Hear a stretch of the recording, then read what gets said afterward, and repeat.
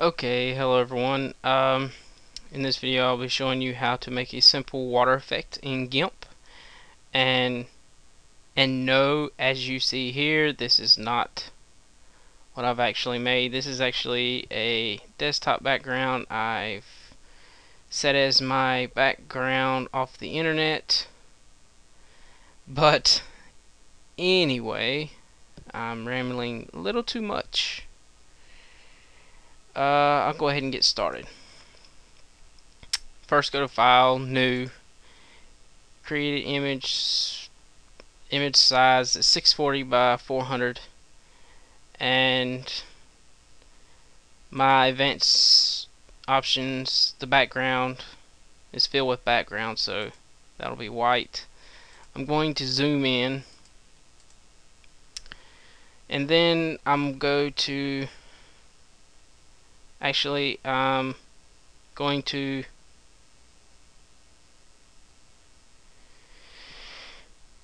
make a new layer filled with transparency. Excuse me uh, this is really late so I'm not very good at these late videos. But anyway um, go to your paintbrush tool and click the paintbrush tool then scroll down to where you see the sparks brush. Click that. And then go to your blend tool and where it says gradient. Go down to where you see the horizon 2 and click that. As you see I already had it clicked so but anyway, um, then go back to your paintbrush tool and click use color from gradient. Now I'm going to just simply make some simple design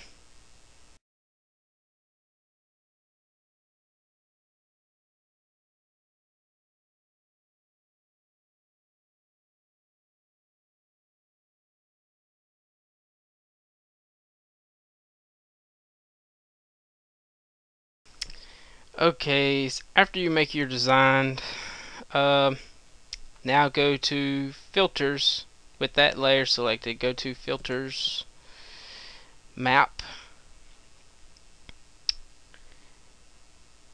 displace, and you'll see this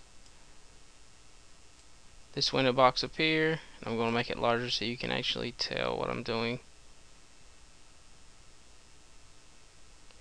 And you can play with this to make the water effect a little more realistic.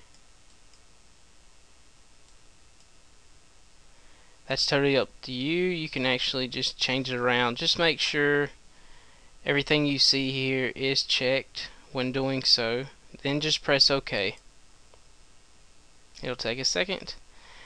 And that's pretty much it. You can actually go through and erase some of these um, some of this excess around the actual bubbles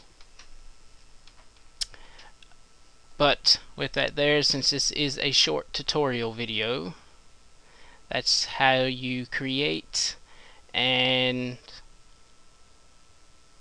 well, that's pretty much how you create a water effect. You can actually do the same with text too, with a text layer.